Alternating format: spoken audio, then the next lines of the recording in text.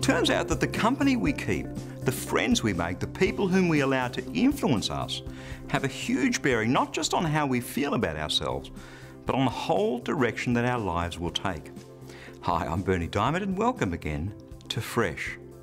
When I was young, I remember my mother saying to me over and over again, don't get in with the wrong crowd.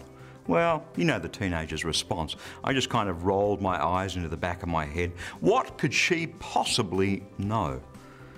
But that's exactly what King Solomon, one of the wisest men ever to walk the planet, said to his sons. Proverbs chapter 1, beginning at verse 10. My son, those who love to do wrong will try to trick you. Don't listen to them. They will say, Come with us, let's hide and beat to death anyone who happens to walk by. We'll swallow them whole as the grave swallows the dying. We'll take everything they have and fill our houses with the stolen goods. Join us and you can share everything we get.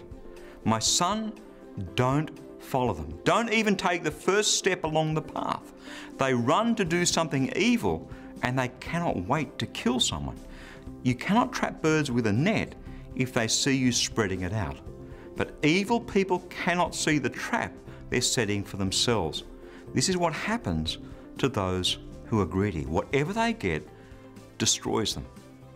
In other words, don't get in with the wrong crowd. The point is that hanging out with the wrong crowd will lead us in the wrong direction, and that, that's going to cause us a lot of pain. Maybe my mother knew what she was talking about after all. Not all friends are alike. There are good friends and there are bad friends. Don't hang out with the wrong crowd. That's God's word. Fresh for you today.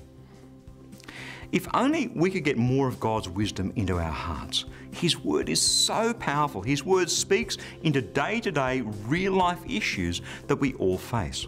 So let me encourage you to stop by at our mobile friendly website, ChristianityWorks.com, and head across to the Media Lounge where you'll find literally thousands of messages on all sorts of different subjects, conveniently arranged so that you can find exactly the teaching you need for today.